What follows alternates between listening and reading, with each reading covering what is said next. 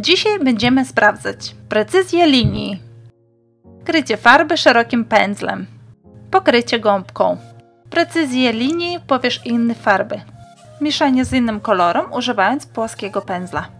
Oraz badam jak łatwa farba miesza się za pomocą gąbki i jak każda z tych farb zachowuje się jako tło. Na koniec zrobię test na ścieranie, żeby zobaczyć jak farba trzyma się powierzchni. A teraz trochę reklamy. Na tym kanale zobaczycie tutoriale, recenzje farb oraz vlogi ze spotkań fizpinterskich z całego świata. Jeżeli właśnie takie wideo lubicie, to ten kanał jest dla Was. Subskrybujcie, naciskajcie dzwoneczek, aby otrzymać powiadomienia o nowych wideo. No i do dzieła! Wreszcie zobaczymy próbki farbek, a w dzisiejszym wideo będą to farby na bazie wosku i farby na bazie akacji senegalskiej. Jeżeli nie wiecie jakie między nimi są różnice, możecie pójść do pierwszego wideo, gdzie tłumaczę wszystko. Jeżeli mówię za szybko lub niewyraźnie, włączcie napisy oraz możecie zwolnić wideo w opcjach. Wideo specjalnie nie pokazuje jak ładuję farbę na pędzel lub gąbkę, ponieważ ja trzymam swoje farby otwarte i one troszeczkę wysychają, więc to zależne od farby, na ile szybko one będą się ładować. Te farby, które dopiero co dostałam ze sklepu, oczywiście będą troszeczkę bardziej wilgotne, więc potrzebują troszkę mniej czasu. Natomiast te farby, które u mnie leżały na przykład około roku otwarte, mogą troszeczkę wolniej się ładować. Poza tym nie wiem, czy zauważyliście, ale każda farba ma swoją własną konsystencję, z którą pracuje najlepiej. Na przykład, jeżeli porównamy Wolf i DFX, to Wolf będzie troszeczkę gęściejsza farba. Chociaż obie farby są jednakowo dobre i nasycony kolor mają.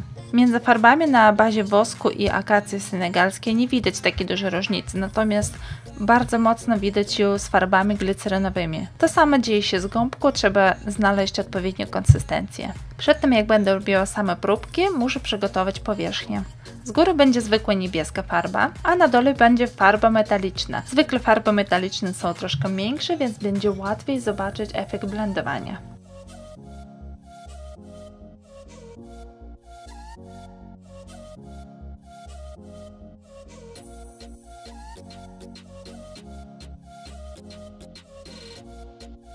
Zaczynam od tak. Okrągłym pędzlem łatwo się rysuje z tą farbą, kolor jest nasycony i linie wyraziste. Kiedyś miałam tą farbę w swoim zestawie i dosyć mi się podobała. Kolor jest mocny, kiedy się pracuje z płaskim pędzlem i tak samo z gąbką.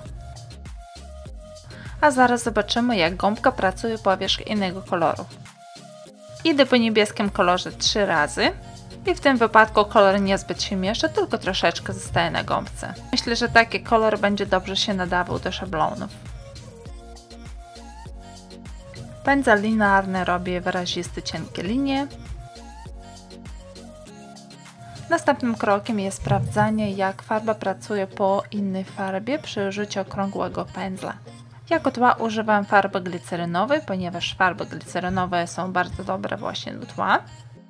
Tutaj robię kilka zawijasów, żeby zobaczyć jak farby się mieszają i w tym przypadku one niezbyt się mieszają. Na pędzlu zostaje bardzo mało niebieskiej farby, a co oczywiście oznacza, że tak jest bardzo dobre do nanoszenia szczegółów powierzchni farby. No i zobaczymy jak to będzie wyglądać już po wyschnięciu na zdjęciach, bo po wyschnięciu mogą one wyglądać trochę inaczej. No i jak widzicie linearny pędzel pracuje bardzo dobrze.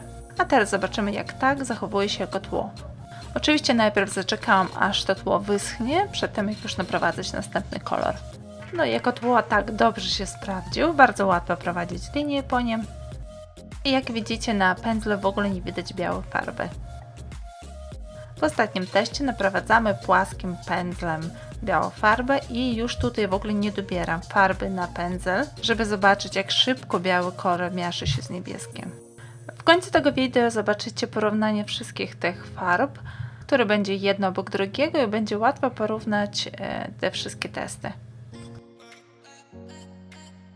Używam PXP po raz pierwszy i tak w ogóle próbki były wysłane specjalnie przez partię Explosion dla mnie do tego przeglądu. I muszę powiedzieć, że byłam bardzo przyjemnie zaskoczona, jakie są wyraziste linie, jakie jest nasycona farba przy pomocy pędzla okrągłego. No zobaczmy, jak dalej pójdzie testowanie. Jak już powiedziałam, linie są bardzo wyraziste, kolor nasycony, nie muszę powtarzać linii. Tak samo jestem zadowolona z płaskiego pędzla, bardzo równomierny kolor. Farba na gąbkę nabiera się bardzo szybko i kolor wygląda bardzo dobrze, bardzo mocno. Mieszając farbę gąbką, troszeczkę koloru przeszedł na gąbeczkę. Z okrągłym pędzlem farba troszeczkę wydawała się sucha, ale jak dodałam trochę więcej wody, to zaczęło się mieszać. Nie powiedziałabym, że za mocno, bo tutaj próbuję jeszcze raz i później, e, kiedy dobrałam troszeczkę więcej farby, zawodowałam pędzel bardziej kromową konsystencję, to e, było to dosyć dobrze wyglądało. Tak w ogóle na bazie wosku najprawdopodobniej wszystkie pędzle linearne będą pracować bardzo dobrze. Teraz używam farby PXP jako tło. Chociaż farba czuje się trochę sucha, to e, w ogóle się nie miesza.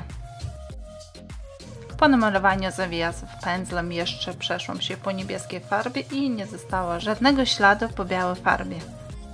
I ostatni test płaskim pędzlem. Jak widzimy farba bardzo słabo się miesza, ale bardzo płynnie. Postanowiłam jeszcze namalować na ręce i z prawej strony teraz rysuję tagiem, a później PXP będę rysowała z lewej. Oczywiście może być to kwestia nabrania farby i udawania koloru, ale e, mi się zdawało, że tak troszeczkę dłużej się ciągnie, czyli wystarczy go na trochę dłużej, ale jest bardziej przezroczysty, natomiast PXP jest bardziej nasycony, ale bardziej suchy.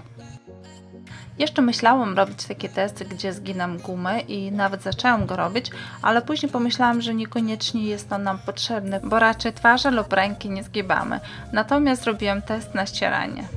Później zrobię to na gumce, ale teraz też postanowiłam sprawdzić, jak to wygląda e, po mocnym ścieraniu wyschnięte farby i w zasadzie nic się nie stało, nie widzę dużej różnicy. I tutaj Wam zdjęcie porównawcze, żeby zobaczyć e, wszystkie linie. Zapomniałam włączyć nagrywanie do tej części z pędzlem okrągłym, ale bardzo mi się on podobał. Natomiast z pędzlem płaskim był tutaj taki jeden mały problemik i nie byłam pewna, czy źle przygotowałam podłoże, czy wystarczająco zapodrowałam gumę, ale wychodziły tu takie małe kropeczki, które na początku niby były zakryte farbą, ale później ona jakoś się odsłania. Taki efekt czasem wychodził mi na dzieciach, kiedy były nakremowane kremem przeciw słońca i wtedy farba bardzo źle się układała na twarz. Więc postanowiłam sprawdzić jeszcze raz, czy takie coś się dzieje. Napodrawałam porządnie gąbkę i znowu to samo się zdarzyło. Czyli nie jest to wina podłoża. Tutaj jest zbliżenie tej farby i widać te kropeczki. Ta guma jest bardzo śliska, więc myślę, że ona podkreśla te wszystkie wady, które wyskakują nam tutaj. Aczkolwiek e, ten efekt się zdarza, więc wiecie. Bardzo przyjemnie pracuje się z gąbką, ponieważ kolor jest bardzo mocno nasycony, ale z drugiej strony bardzo delikatnie się nakłada. Kiedy mieszam te dwa kolory razem, to bardzo płynnie przechodzi jeden kolor w drugi, bardzo przyjemne przejście. Okrągłym pędzlem troszkę mieszał się ten kolor na początku, ale później dobrałam więcej farby, wymieszałam tą farbę lepiej i zdecydowanie było różnica, czyli na początku to był mój błąd e, z nabraniem niewystarczającej ilości farby. Oraz chciałam powiedzieć, że zdecydowanie bardziej podoba mi się gąbką nakładać tło niż pędzlem tą farbą. Podobało mi się jak Creveline pracuje jako tło. Chociaż też wydawało mi się troszeczkę za sucha, ale w ogóle nie zostawiała żadnego koloru białego spod spodu. Linearny pędzel pracował bardzo dobrze. Może trochę za dużo nabrałam farby, ale te maźnięcia wyglądają trochę nierównomiernie, aczkolwiek możemy porównać ten test na zdjęciu z innymi farbami. Dużo pracowałam z farbą Wolf i wygodnie dosyć nią robić szczegóły. Ma bardzo mocny, nieprzezroczysty kolor i jedynie co czasami mam takie wrażenie, że jak nabieram farbę, że jest ona za gęsta, że na przykład nie będą wychodzić wystarczająco cienkie linie, ale nigdy nie ma z tym problemu, po prostu przy nabieraniu mam takie wrażenie. Coś takiego jakby miało konsystencję farby glicerynowej na przykład. No ale linie wychodzą perfekcyjne, tak samo z płaskim pędzlem, bardzo ładny, nasycony kolor kolor, dosyć równomierny. Łatwo też pracuje się pędzlem linearnym. Malowanie gąbką też jest bardzo równomierne i mocny kolor. A kiedy naprowadzamy na inny kolor, wolf się nie miesza. Na gąbce prawie że nic nie widać.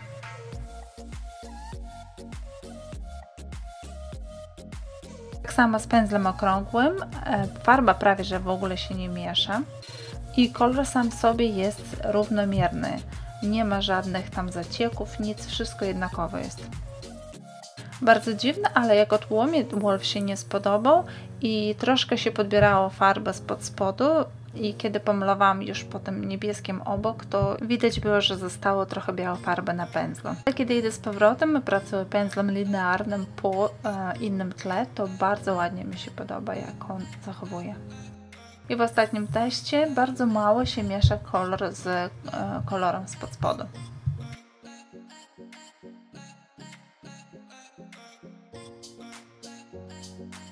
I tutaj pracuję już dwoma farbami na ręce i te farby dla mnie były dosyć mm, mocno porównywalne. Może troszeczkę Wolf jest mocniejszy kolor, ale ogólnie i jedna i druga farba bardzo ładnie malowała po, e, po mojej ręce.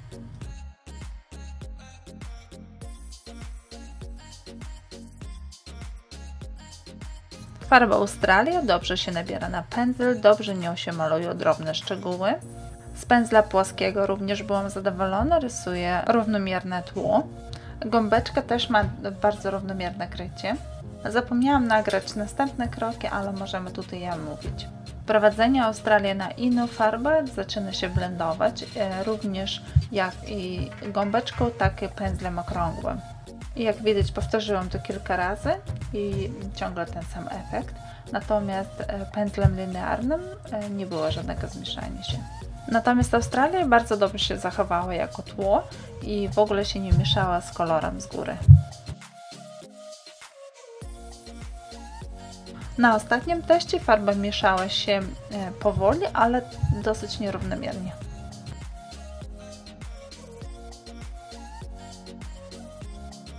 Kres bardzo szybko się nabiera, bardzo ładne linie szczegółowe wychodzą, e, aczkolwiek czasem się wydaje, że troszkę farby jest za sucha. Ładne wychodzi tło e, z płaskim pędzlem. Gąbka ma nasycony, intensywny kolor i jak się naprowadza na inny kolor, to zaczyna się bardzo szybko blendować. Natomiast zakrągłym pędzlem niezbyt się mieszało i mm, na pędzlu prawie że nie zostało niebieskiej farby. Pędzel linearny pracuje idealnie jak na samej gumie, tak i na innym kolorze. W zasadzie to nie rozpracowałam jak to kres pracuje jako tło, bo e, farba niebieska wydawała się troszkę jasna, aczkolwiek kiedy porysowałam po innym kawałku niebieskim, to nie było widać żadnych białych pozostałości. Kolor biały po metalicznym tle mieszał się powoli i dosyć równomiernie. Jakoś przypuściłam, jak, jak malowałam tymi kolorami na ręce, ale one były bardzo podobne. Ogólnie muszę powiedzieć, że farba na bazie wosku bardzo ciężko jest rozróżnić, one są wszystkie bardzo wysokiej jakości, bardzo podobne. Przez długi czas DFX był moim ulubionym kolorem do wszystkiego rodzaju szczegółów, do oprowadzeń, ale teraz już nie jestem pewna i nie dlatego, że mi DFX przestał się podobać, tylko że teraz na rynku jest bardzo dużo bardzo dobrych, wysokojakościowych farb. Na szczęście jeszcze długo nie będę musiała wybierać, ponieważ zostanie mi trochę tych białych farb po tym przyglądzie. Ale wróćmy do DFX, bardzo dobre linie pędzlem okrągłym, pędzlem płaskim, i e, gąbku też mi się bardzo podoba. E, mierzę się tak średnio, troszeczkę zostało mi na gąbeczce. Po innym kolorze pracuję bardzo dobrze, bardzo mało się mieszę. Pędzel linearny pracuje perfekcyjnie, zarówno jak po gumie, tak i po innym kolorze. Jako tło pracował ok, wydawało mi się trochę, że był nie do końca e, intensywny kolor, ale na farbie niebieskiej nie było zbyt widać e, dużych pozostałości po białym. I na ostatniej próbce bardzo mało się zmieszała farba. Nie do wiary, ale zaczęłam nagrywać te wideo ponad rok temu i wtedy miałam jeszcze stary Global. Teraz już Global zmienili skład farby, ale postanowiłam zostawić tą próbkę. Ogólnie mi stare farby się podobały, jedynie miały jeden problem, którego już nie ma w nowej farbie. Kiedy używałam płaskiego pędzla lub gąbki, zostawały tam takie kropelki, które nie chciały się wypełnić. Robiłam te próbki kilka razy i ciągle tak samo wychodziło na tych różnych próbkach. Na ręce to wyglądało inaczej, wyglądało to o wiele wiele lepiej, ale czasem jak pracowałam na dzieciach, to ciągle było widać ten efekt. Tak czy inaczej, po zmianie składu farba już zachowuje się inaczej i nie ma tego problemu. Podoba mi się ta nowa wersja farby, jest bardzo nasycony kolor, dobrze wychodzą szczegóły, też e, płaskim pędzlem, bardzo, bardzo równomierny kolor, tak samo jak gąbką. Pędzlem okrągłym delikatnie się farba miesza, ale nie zbyt mocno.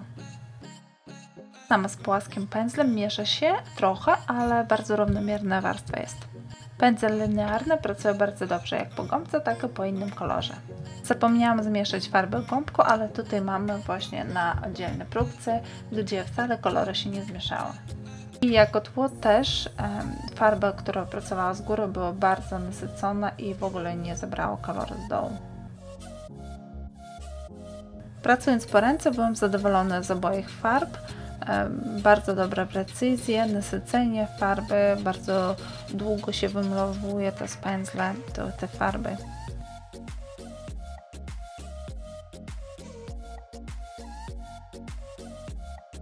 W Fusion Paraffin White głównym składnikiem była akacja senegalska, ale następny składnik był parafin, czyli wosk. No i dla mnie ona jednak zachowuje się bardziej jak woskowa farba.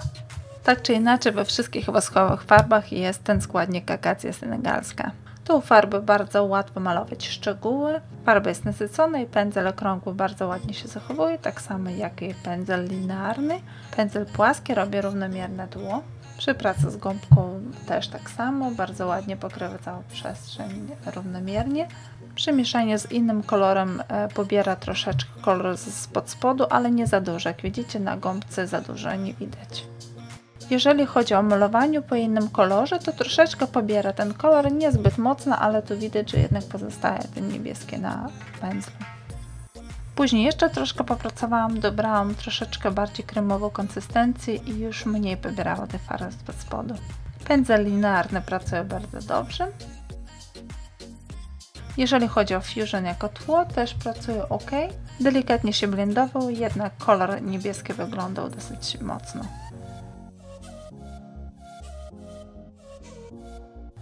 I w ostatnim teście farby mało coś miesza. U farby kameleon jest nasycone pokrycie, mocny nieprzezroczysty kolor. Dobrze pracuje z cienkim okrągłym pędzlem i ładnie wychodzą wszystkie szczegóły. Podoba mi się też praca płaskim pędzlem i gąbką. Kolor jest równomiernie nałożony. Przy zmieszaniu kolorów w gąbku trochę koloru zostaje na e, gąbce, ale nie za dużo. Pędzel linearny pracuje bardzo dobrze. Bardzo podoba mi się praca okrągłym pędzlem po innym kolorze. Kolor jest nasycony, bardzo mało zostaje na pędzlu, a pociągnięcie pędzla są bardzo równomierne. Zgodnie z oczekiwaniami pędzel linearny też pracuje bardzo dobrze po innym kolorze. Pracując jako tło, kameleon biały też nie wydaje za dużo koloru, więc niebieski z góry nie rozcieńczy się i wygląda dosyć dobrze. I ostatnia próbka pędzlem płaskim, powierzch miękkiej glicerynowej farby. Na ręce obie farby mi się podobały, jak pracowały.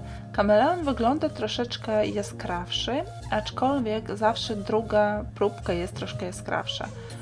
A jak farba wysycha, to wtedy bardziej wszystko się robi równomiernie. No, zobaczymy.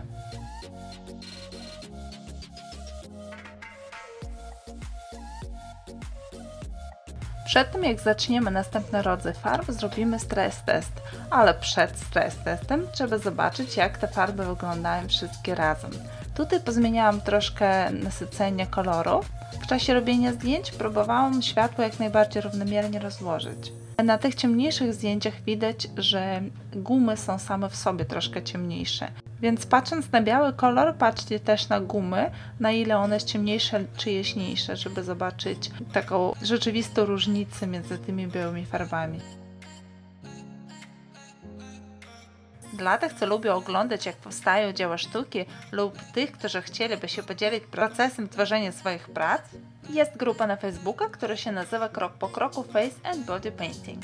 Tutaj w albumach tematycznie są ułożone zdjęcia, które można w każdej chwili obejrzeć, a jeżeli macie swoje własne zdjęcia z procesu malowania, to zapraszam do załadowania do tematycznego albumu. Czekam na Was tutaj, a link do grupy będzie w opisie. No cóż, czas na stres test, czyli ścieranie. Zacznę od pierwszych dwóch próbek Wolf and Crivaline i przejdę się 5 razy.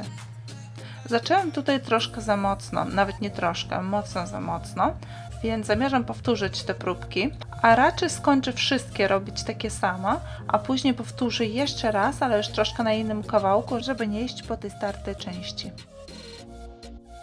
W tym teście będę używała różnych gąbek do różnych firm. Tym razem przejdę się 10 razy z lewej strony, ale nacisk będzie już o wiele słabszy.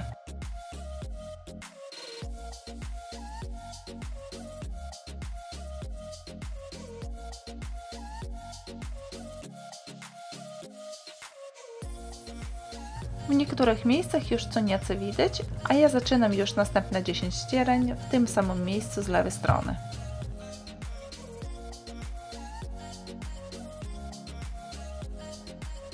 Do poprzednich 20 dodaję znowu 10 i tutaj już zaczyna bardziej być widać i chyba tu się zatrzymam. I chciałam tu powiedzieć, że ten test niekoniecznie jest taki miarodajny, ponieważ robiłem to ręcznie. Oczywiście ten nacisk nie mogę zbyt mocno kontrolować. Próbowałam robić to jak najrówniej, no ale sprawdzić tego też za bardzo się nie da. Niemniej jednak mam nadzieję, że ten test pomoże Wam podjąć decyzję, która farba Wam najbardziej pasuje.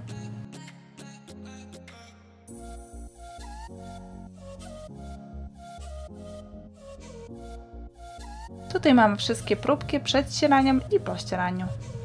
Dzisiaj będzie jeszcze jeden rodzaj farb, który sprawdzimy, a już za dwa tygodnie będzie reszta farb. Wszystkich farb nazbierałam 26 i będę zaskoczony, jeżeli znajdziecie farby, które jeszcze nie testowałam. No ale wracając do naszego przeglądu obecnego, macie tutaj zdjęcie ze ścieraniem i znowu zmieniam zdjęcie, żebyście mogli zobaczyć różnicę lepiej. Nie przedłużałam za długo wideo, więc naciskajcie pauzę, żeby obejrzeć wszystkie szczegóły.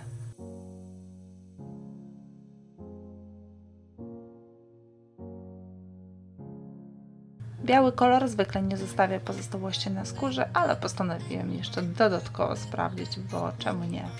Dopóki oglądacie zmywanie farb, ja już przygotowuję następne dwie próbki a będą to farby na bazie akacji senegalskiej, albo inaczej nazywana guma arabska. Postanowiłam umieścić te dwie farby w inną kategorię, ponieważ wyglądają one trochę inaczej na skórze. Z drugiej strony nie chciałam za mocno je oddzielić od woskowych, ponieważ jednak mają dużo wspólnych właściwości. Jeżeli lubicie charakteryzację, to zapraszam Was do grupy Charakteryzacja Polska, gdzie możecie obejrzeć prace innych artystów lub też wystawić swoje i pokazać, co Wy ostatnio robiliście i na czym pracowaliście. Czas na test farb na bazie akacji senegalskiej. Tak w ogóle długi czas się zastanawiałam, do jakiej grupy przydzielić te farby. Ponieważ nie ma tam wosku, na początku przydzieliłam je do grupy z glicerynowymi farbami. Natomiast jak i te wszystkie woskowe farby mają akację senegalską, więc to tak jakby pasowało bardziej do woskowych farb. Ale muszę powiedzieć, że właściwości mają raczej bliższe do woskowych, więc umieściłem je tutaj. Ale pewnie już to wiecie, jeżeli oglądaliście moje pierwsze wideo, gdzie opisuję różnice pomiędzy wszystkimi farbami.